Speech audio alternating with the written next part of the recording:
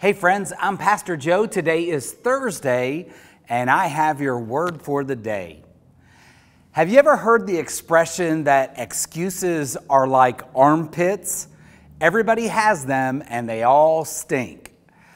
To be transparent, some excuses are valid, but what I have often found when it comes to obedience to God, I found I can be full of excuses and reasons not to do something I sense the Lord is leading me to do.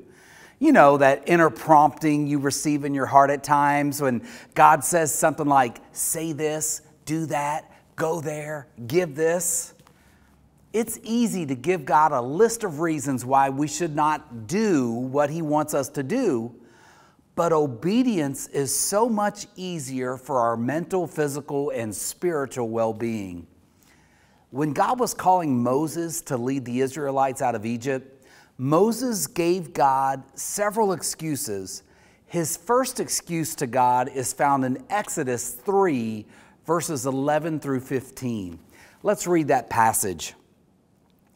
But Moses protested If I go to the people of Israel and tell them, The God of your ancestors has sent me to you, they will ask me, What is his name? Then what should I tell them?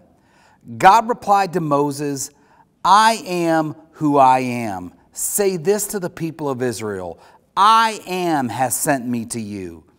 God also said to Moses, Say this to the people of Israel Yahweh, the God of your ancestors, the God of Abraham, the God of Isaac, and the God of Jacob, has sent me to you. This is my eternal name, my name to remember for all generations. Essentially, what Moses was asking God and saying to God, and the excuse that he was giving is, Why me? I'm a nobody. And as a nobody, I have no influence. And that's why God said, You tell them I am, that I am sending you. And I can tell you, I can relate to that. I can relate to the same feeling that Moses had of feeling like a nobody.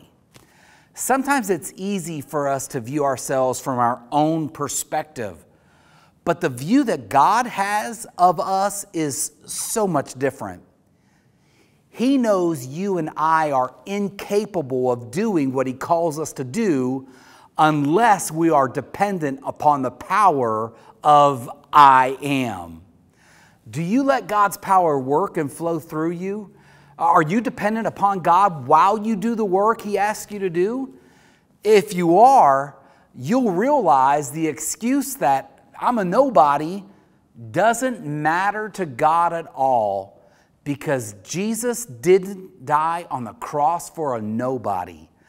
You have influence through the power of the Holy Spirit that lives in you. So be obedient. God knows who you are and He knows who He is. Stay away from that old excuse that stinks like an armpit. You are a child of God. Walk in His power and in His strength today. If today's word for the day has blessed you, like it, apply it, or leave a comment. God bless.